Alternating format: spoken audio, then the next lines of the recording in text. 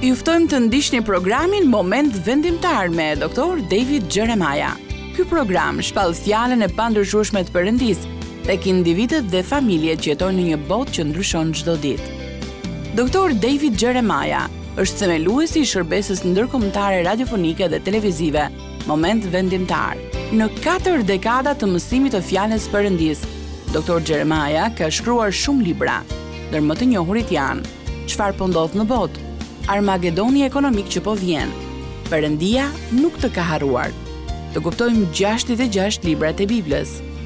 Mësimi i shëndoshë biblik është thelbi i shërbesës së Doktor David Xheremaja. Ndaj mos humbisni asnjë nga programet e tij. Ishte tetëmbëdhjetë janari i vitit dy mijë e dhjetë. Amatori i boulingut Bill Fongu ishte vetëm tri goditje larg përsosmërisë, tri lojëra radhazi të përsosura, nëntëqind pikë. Në historinë e boulingut kishte pasur vetëm njëzet e një seri të përsosura. Pasi hodhi topin në tridhjetë e tre goditje radhazi, Billy mori topin, mori pozicion dhe bëri një goditje tjetër. Pastaj ai bëri dhe një tjetër goditje në shinën tridhjetë e pesë dhe turma brohoriti fort. Por diçka nuk po shkonte. Para dy goditjesh, Billy kishte filluar të djersinte shumë dhe po i merreshin edhe mendtë. Por ai ishte vetëm një goditje larg historisë.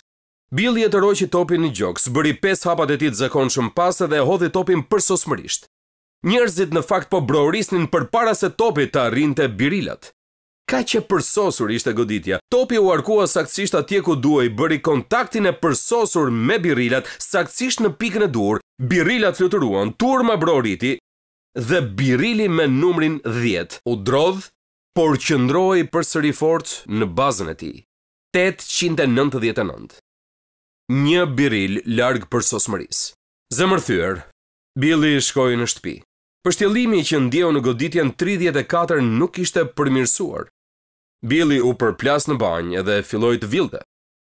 Muret i rrotulloheshin dhe pastaj Billyn e zuri gjumi, dhe kur u zgjua mëngjesin tjetër, ai e kuptoi se kishte kaluar një parainfarkt. Më vonë në vitin dy mijë e dhjetë, ai bëri një operacion në zemër dhe ishte vetëm dyzet e gjashtë vjeç, ai mbijetoi, pavarësisht se kishte shtatëdhjetë për qind shanse që të vdiste. Mjekët i thanë se gjëja e vetme që i kishte shpëtuar jetën natën e tetëqind e nëntëdhjetë e nëntës, ishte pikërisht ai biril që nuk ra. Sikur birili i fundit të binte, mjeku i Billit i tha se trupi i tij tashmë në mes të infarktit do ta kishte ngritur edhe më shumë tensionin e gjakut, dhe kjo do të kishte bërë që ai të vdiste menjëherë. Ajo që ai mendoi se ishte gjëja më e keqe që mund të ndodhte, gjëja më e tmerrshme pasi kishte goditur në shenjë tetëqind e nëntëdhjetë e nëntë birila. Dhe i fundit nuk kishte rënë, ai mendoi se ishte gjëja më e keqe që mund të kishte ndodhur, por kjo gjë i shpëtoi atij jetën. Ndonjëherë, gjërat që i mendojmë si të këqija, janë të tilla vetëm për ne. Perëndia ka një këndvështrim të ndryshëm. Po them të gjithë e dimë që gjëra të këqija u ndodhin njerëzve. Disa gjëra të këqija janë pasojë e krizave kombëtare apo ndërkombëtare si pandemitë. Disa gjëra të këqija janë pasojë e vendimeve të këqija apo sjelljes së keqe. Gjëra të këqija ndodhin. E dimë këtë. Por nëse do të më ndiqni sot, ju do të zbuloni se për shkak të Romakëve tetë njëzet e tetë, Të krishterët kanë një mënyrë unike për ta parë jetën kur gjëra të këqija u ndodhin atyre. Një student i Romakëve tetë njëzet e tetë thotë e vërteta e Romakëve tetë njëzet e tetë ndryshon mënyrën si mendoni. Ajo mund të sigurojë një ndryshim të papritur në këndvështrimin, humorin dhe emocionet tuaja. Më vonë ajo mund të transformojë vërtet personalitetin tuaj, të ndryshojë rrethanat në jetën tuaj. Ajo mund të kthejë shpirtra të trazuar në njerëz të sigurt dhe shumë të gëzuar. Është sekreti i qëndrueshmërisë dhe gëzimit të papërshkrueshëm. Dhe ky premtim ka emrin tuaj mbi vete. Ai përballon sfidat që ju po kaloni tani është garancia e Perëndisë. Tani ngrihuni të gjithë në këmbë dhe lexojeni këtë premtim me zë nga ekrani. Ngrihuni të gjithë ju lutem? Ky është Romakëve tetë njëzet e tetë. Unë dua të dëgjoj zërat tuaj që e lexojnë me zë të lartë me mua. Dhe ne e dimë se të gjitha gjërat bashkëveprojnë për të mirë për ata që e duan Perëndinë, për ata që janë të thirrur sipas qëllimit të tij. Tani mund të uleni. Gjëja interesante për mua, ndërsa e shoh atë është se shumica e gjërave të rëndësishme në jetë janë shumë të thjeshta, apo jo? Ne i bëjmë ato të komplikuara, i bëjmë ato të thella, por janë të thjeshta. Kjo është e vërtetë edhe për këtë varg. Ky varg është një nga më të thjeshtët në Bibël.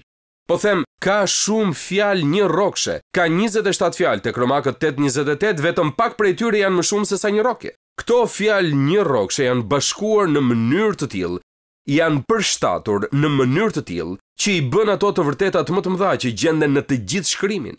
Kështu ja pesë të vërteta të mëdha nga ky varg. Pesë gjëra që dua që ju të kujtoni nga Romakëve tetë njëzet e tetë. Pikë së pari, Ky është një premtim i qartë. Ky nuk është një sugjerim apo një mundësi, është një premtim i qartë. Dëgjoni se çfarë thotë dhe ne e dimë. Është jashtëzakonisht e rëndësishme të dimë. Po them ne jetojmë në një kohë kur njerëzit thonë se nuk mund të dinë asgjë me siguri, edhe kur e vërteta dhe dituria duket se kanë zënë vendin e fundit pas gabimeve dhe opinioneve dhe ndonjëherë pyesin veten nëse e vërteta ekziston për disa njerëz. Por unë jam këtu t'ju them se ajo që dimë ne është e rëndësishme. Prandaj ne jemi përkushtuar të mësojmë Fjalën e Perëndisë. Ne duam të dimë atë që dimë. Dhe këtu na thuhet diçka që ne mund ta dimë. Fjala di është përdorur një mijë e nëntëdhjetë e tetë herë në Bibël. Dhe fraza e shkurtër ne dimë është përdorur pesë herë në librin e Romakëve dhe Pali thotë se ne mund ta dimë përtej çdo dyshimi. se çdo aspekt i jetës sonë është në duart e Perëndisë dhe përdoret në mënyrë hyjnore prej Tij, jo vetëm për të manifestuar lavdinë e Tij, por edhe për të punuar për bekimet tona përfundimtare. Ne e dimë këtë. Është e qartë. Nuk na duhet ta hamendësojmë, nuk na duhet një këshillues të na e thotë, është në Bibël dhe ne e dimë. Është gjithashtu një premtim hyjnor. Këtu Pali po thotë se ne e dimë se Perëndia punon dhe Ai po punon në jetën tonë. Perëndia pa pushim në mënyrë energjike dhe qëllimisht po punon në emrin tonë. Është Perëndia ai që i kthen të gjitha gjërat për mirë për ata që e duan atë.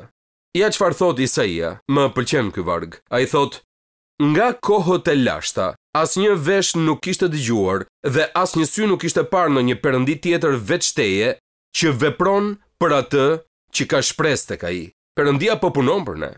Ky është një premtim i qartë dhe ne e dimë. Ky është një premtim hyjnor se Perëndia punon. Perëndia po punon në gjithçka. Dhe pastaj së treti, ky është një premtim përfundimtar, ai punon në të gjitha gjërat. Të gjitha gjërat e këtij vargu janë plotësisht të kuptueshme. Ju mendoni, oh, po, kjo funksionon për shumë njerëz, pastor Jeremia, por ti s'e di se ç'kam kaluar unë. Të gjithë gjërat e mia nuk janë mirë. Dhe Perëndia, Perëndia nuk është i përfshirë në to. Unë jam jashtë kësaj, mirë, ju nuk mund të jeni jashtë kësaj sepse këtu kemi një deklaratë gjithëpërfshirëse. Çfarë përfshihet në këtë premtim? Çfarë përfshin ai? Ai përfshin të gjitha gjërat. Hë! Të gjitha do të thotë të gjitha, ose siç thotë një predikues, të gjitha do të thotë të gjitha dhe kjo është gjithë domethënia. Po ta marrim në kontekst, premtimi nuk ka vend për kufizime, nuk ka vend për kushte, të gjitha gjërat është gjithëpërfshirëse, në kuptimin më të plotë të saj. Ajo përfshin vuajtjen e vargut shtatëmbëdhjetë? Ajo përfshin rënkimin e vargut njëzet e tre? Me fjalë të tjera, gjithçka që është negative në këtë jetë shihet sikur të ketë një qëllim pozitiv në realizimin e planit të përjetshëm të Perëndisë. Asgjë nuk është përtej hapësirës ku shtrihet sundimi dhe zotërimi i hyjnisë së Tij. Duhet ta them përsëri këtë. Ky premtim që ne po studiojmë tani, Nuk është një premtim i pjesshëm, nuk është një premtim i kushtëzuar, nuk është një ndoshta, por është absolut. Të gjitha gjërat, gjithçka që ndodh në jetën tuaj apo në jetën time, futet nën çadrën e këtij pasazhi. Kushdo që studion librin e Romakëve duhet që patjetër të lexojë shkrimet e një pastori që predikoi për shumë vite në Filadelfia. Emri i tij është Donald Grey Barnhouse. Dhe ai shkroi dhjetë vëllime mbi librin e Romakëve. Janë të mahnitshme. Ai ishte një nga ilustruesit më të mëdhenj të kohës së tij, predikues i madh. Ja se çfarë thotë ai për këtë pasazh. Ai thotë, Të gjitha gjërat brenda hapësirës së ekzistencës, brenda rrezes së mundësisë, brenda njohurisë së Perëndisë, nuk ka përjashtime nga gjerësia përfshirëse e kësaj deklarate. Nuk ka vullnet apo veprim të krijesave, njeriut, engjëjve apo demonëve, që mund të mos punojë për të mirën tonë. Asnjë qen nuk mund të lehë kundër nesh. Asnjë njeri nuk mund të flasë apo veprojë kundër nesh. Asnjë fuqi e mbrapshtë nuk mund të jetë kundër nesh, por të gjitha duhet të jenë për të mirën tonë.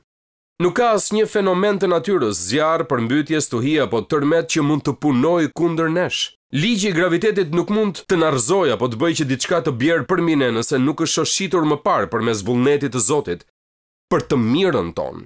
Ajo që ai po thotë është se kur ne fillojmë ta shohim jetën tonë kështu, kur fillojmë të kuptojmë se ndërsa ka incidente në jetën tonë, gjëra që na ndodhin, gjëra të këqija, gjëra të mira, Ne i shohim ato shpesh individualisht, por Perëndia i sheh ato si pjesë e planit të tij përfundimtar. Dhe kur ne fillojmë të kuptojmë se Perëndia ka një plan përfundimtar për jetën tonë, kjo fillon të na çlirojë në frymën tonë që të dimë se Perëndia është në kontroll. Unë mund të mos e kuptoj këtë, por Perëndia ka një qëllim për gjithçka që ndodh në jetën time. Kjo është ajo që Pali thotë, duhet t'ju them se çfarë nuk po thotë. Ajo që nuk po thotë është, Një sëmundje, vuajtja, persekutimi, pikëllimi apo ndonjë gjë tjetër si këto, janë të mira, ai s'po thotë këtë. Përkundrazi këto janë gjëra të këqija, urrejtja nuk është dashuri, vdekja nuk është jetë, pikëllimi nuk është gëzim. Bota është e mbushur me të keqe, por ajo që teksti thotë është se Perëndia i përdor këto gjëra të këqija për të sjellë një fund të mirë për njerëzit e tij. Perëndia nxjerr të mirën nga një e keqe.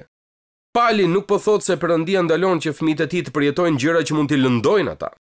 Përkundrazi po na thotë se Zoti i merr të gjitha ato që ai lejon t'u ndodhin fëmijëve të tij të dashur, edhe gjërat më të këqija dhe i kthen këto gjëra përfundimisht në bekime. Pavarësisht situatës ku ne jemi, vuajtjes sonë, persekutimit tonë, dështimit tonë mëkatar, dhimbjes sonë, mungesës besimit, Nga këto gjëra, si dhe nga gjëra të tjera, Ati ynë qiellor do të sjellë përfundimisht produktin e fitores dhe bekimeve në jetën tonë. Me fjalë të tjera, Pali nuk po shpreh besimin në mirësinë e të gjitha gjërave. Pali po shpreh besimin në mirësinë e Perëndisë. Në mirësinë e qëllimit të Perëndisë për ne. Ç'premtim i mrekullueshëm që është ky! Është një premtim i qartë dhe ne e dimë. Është një premtim hyjnor që Perëndia punon Është një premtim përfundimtar, të gjitha gjërat bashkëveprojnë! Tani ja dhe ai që unë mendoj se është më i miri nga të gjithë dhe më i rëndësishmi që duhet të kuptojmë. Ai është një premtim dinamik. Të gjitha gjërat bashkëveprojnë për të mirë! Thueni këtë, bashkëveprojnë për të mirë, thueni me mua, bashkëveprojnë për të mirë! Pak gjëra mund të na acarojnë më shumë se sa kur nuk mund të shohim apo kuptojmë se si pjesë të jetës sonë përshtaten bashkë. Disa nga ju sot po përpiqen të zbulojnë. Çfarë po bën Perëndia? Pikërisht tani, në jetën time, si mund të përshtatet ajo që po më ndodh mua, si përshtatet në planin e Perëndisë për jetën time? Dhe ndonjëherë, nëse problemet janë serioze dhe ju po përpiqeni t'i zgjidhni ato, kjo gjë do t'ju mbajë zgjuar natën. Por Pali përdor një shprehje interesante për të përshkruar se si Perëndia po punon në emrin tonë. Ai thotë se të gjitha gjërat bashkëveprojnë Dhe ai përdor një fjalë greke, unë nuk përdor shumë fjalë greke, por kjo është shumë e rëndësishme. Fjala greke është sunergeo, sunergeo. Kjo fjalë vjen nga fjala nga e cila ne marrim fjalën sinergji, sunergeo, sinergji. Tani dua t'ju kujtoj, meqenëse e keni harruar këtë që nga koha e shkollës, se sinergjia është puna së bashku e elementeve të ndryshme, për të prodhuar një ndikim që është më i madh se, dhe shpesh plotësisht i ndryshëm nga, shuma e secilit element, nëse do të vepronte i veçuar, tani e di se është një deklaratë e gjatë, por po e them përsëri, sinergjia është puna së bashku e elementeve të ndryshme, për të prodhuar një ndikim që është më i madh se, dhe shpesh plotësisht i ndryshëm nga, shuma e secilit element, po të vepronte i veçuar. Në botën e fizikës, edhe kombinimi i duhur i kimikateve të dëmshme mund të prodhojë substanca që janë jashtëzakonisht të dobishme, po ju jap një ilustrim të thjeshtë. Kripa e zakonshme që përdorim ne është e përbërë nga dy helme, natriumi dhe klorina. Por kur i bashkoni të dyja, është kripë dhe duhet ta kemi patjetër tek patatet e skuqura. Edhe një herë është e rëndësishme të theksojmë se Romakëve tetë njëzet e tetë nuk po thotë se gjërat thjesht bashkëveprojnë.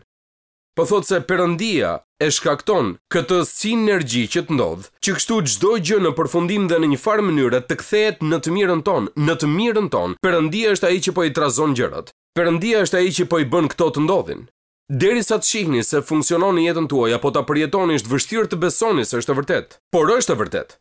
Dhe nëse jetoni gjatë dhe ecni me Zotin do të jeni në gjendje që edhe në këtë jetë ta ktheni kokën pas edhe të thoni, Oh! Pra ky ishte kuptimi i gjithë kësaj. Hë! Ky është një premtim i qartë dhe ne e dimë. Është një premtim hyjnor që Perëndia punon. Është një premtim përfundimtar, të gjitha gjërat bashkëveprojnë. Është një premtim dinamik, bashkëveprojnë për të mirë.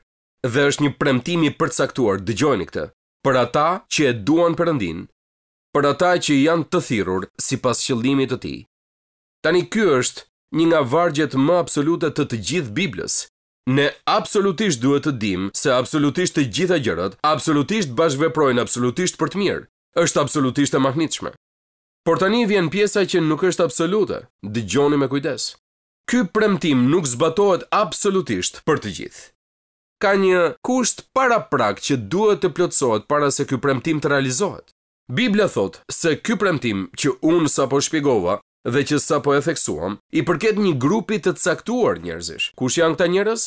Ata që e duan Perëndinë. Ata që e duan Perëndinë është tema dalluese e besimtarit. Si e përshkruajmë një besimtar? Ai është një person që do Perëndinë. Unë kam qenë plotësisht i bekuar kur kam parë se sa herë ne si besimtarë jemi përshkruar në Bibël thjesht si ata që e duan Perëndinë. Ç'emër i madh për ne besimtarët, jemi të dashurit e Zotit, a jeni të dashur të Zotit? Ligji i Përtërirë shtatë nëntë thotë prano pra që Zoti Perëndia yt është Perëndia, Perëndia besnik që respekton besëlidhjen e tij dhe tregohet i mbarë deri në brezin e njëmijtë, ndaj atyre që e duan atë. Psalmi njëqind e dyzet e pesë vargu njëzet thotë Zoti i mbron të gjithë ata që e duan atë.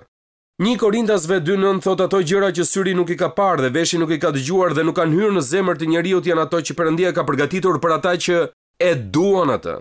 Një Korintasve tetë tre por në qoftë se dikush e do Perëndinë, ai është i njohur prej tij. Më lejoni t'ju bëj një pyetje sot, A e doni Perëndinë? Hm. E shoh që po tundni kokën, shumica juaj. Dikush mund të thotë e njoh Perëndinë, unë di rreth Perëndisë dhe jam këtu ngaqë di rreth Perëndisë. Por a e dua atë? Oh, nuk e di, pastor, a e do vërtet ndonjë Perëndinë? Po them, si mund ta duash dikë që nuk mund ta shohësh? Bibla na mëson se si ta duam Perëndinë. Dhe ajo përshkruan se çfarë bëjmë kur e duam Perëndinë. Bibla thotë se nëse e duam atë do të zbatojmë urdhërimet e tij.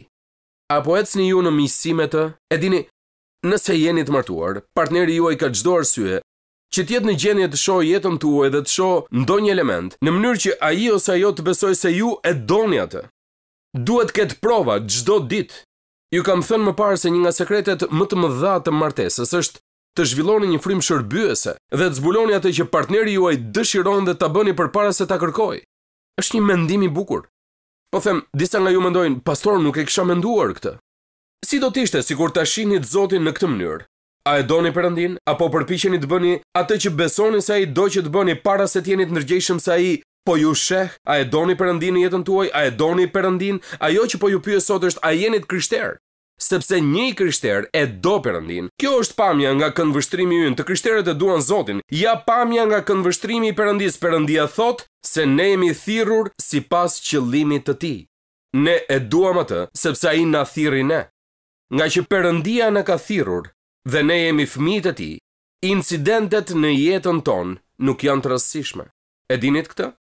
Ne jemi fëmijët e Perëndisë, sprovat e jetës sonë nuk janë të parëndësishme. Kur shohim atë që ndodh në jetën tonë, Perëndia po sajon diçka.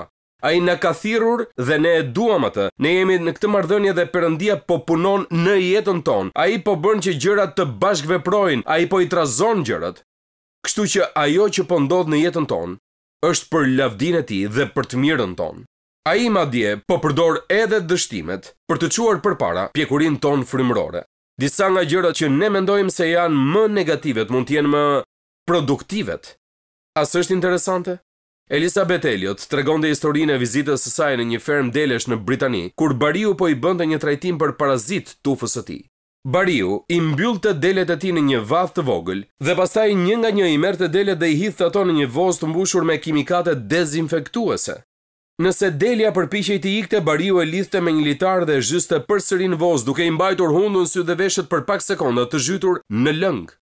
Elioti tha çfarë duhet të kenë menduar delet ndërsa e gjitha kjo ishte duke ndodhur. Ndoshta diçka të tillë si, Mendoja se Bariu më donte! Ai do të më vrasë! Çfarë po përpiqet të bëjë? Nga ana tjetër, sikur Bariu të mos e bënte këtë gjë, delet nuk do ta kuptonin se çfarë po ndodhte, por pa atë dezinfektant, ata do të ishin në gjendje të keqe dhe ndoshta edhe mund të vdisnin. Ajo që dukej si një gjë e tmerrshme për t'u përjetuar, përfundonte si diçka jetëdhënëse për këto dele. Romakëve tetë njëzet e tetë na kujton se Perëndia ka një plan që është më i mirë se plani ynë. Ndonjëherë është i parehatshëm, ndonjëherë ky plan nuk ka kuptim për ne, por është gjithmonë për të mirën tonë, nëse e duam Perëndinë dhe jemi të thirrur sipas qëllimit të tij. Ky është Romakëve tetë njëzet e tetë.